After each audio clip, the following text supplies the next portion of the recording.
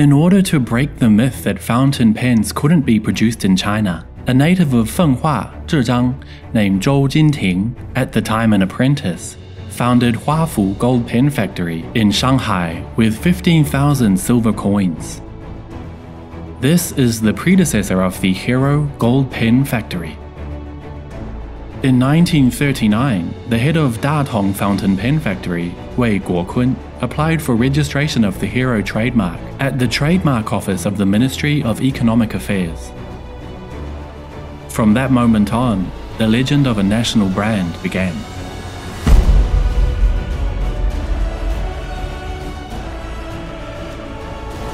Hey, I'm Andy from Shanghai Daily. I'm here at Shanghai Hero Group, which are the producers of a really famous pen that a lot of Chinese people know and love. Let's go take a look.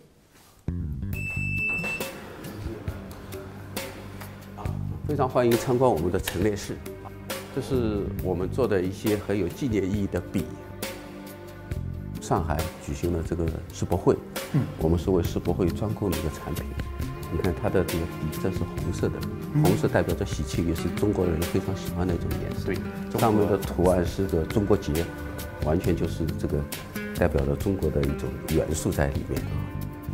纪念毛泽东诞辰一百周年的时候，设计的一款十八 K 的这个纪念笔。毛泽东主席生前也非常喜欢用这个瓷器。然后这个编号就是。八十八，对我们这款纪念笔当时生产了限量版，生产了一千支。哦，这是第八十八号。然后这支笔见证了我们共和国，特别是改革开放四十年来发展的一个重要的这个历史。Who would have thought that such a small pen could play such a big role in China's history?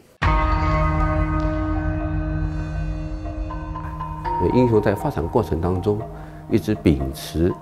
开拓创新、虚心好学、赶超一流这么一种精神啊，所以英雄之所以这个品牌能为大家接受，产品之所以能够这个呃为大家所青睐，和他的这种精神追求应该是分不开的。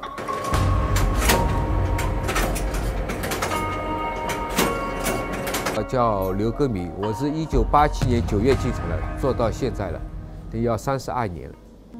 我听说你们这边做一个笔头需要做三十四个工序，是吧？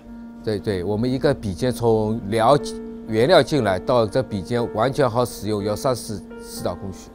我们因为品种比较多，来料按照来料不同有要就是产品的合格率啊什么要控制，难度呢就不断的有新问题解怎么解决问题，这个难度有一点。但是我们呢在团队大家合作起来，这个问题呢。在一步一步提高。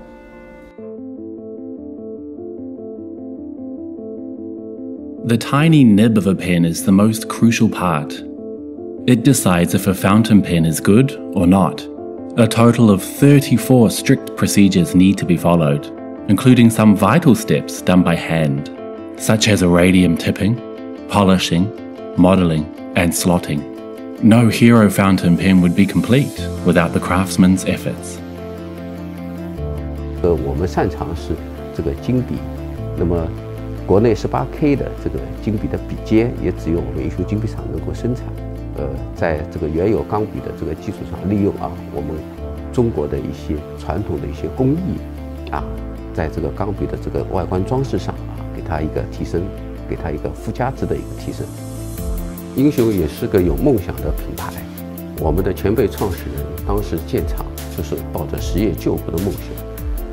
新中国的英雄人是抱着实业强国的梦想进入新时代的英雄人，我们的梦想是成为一个百年企业，打造百年品牌。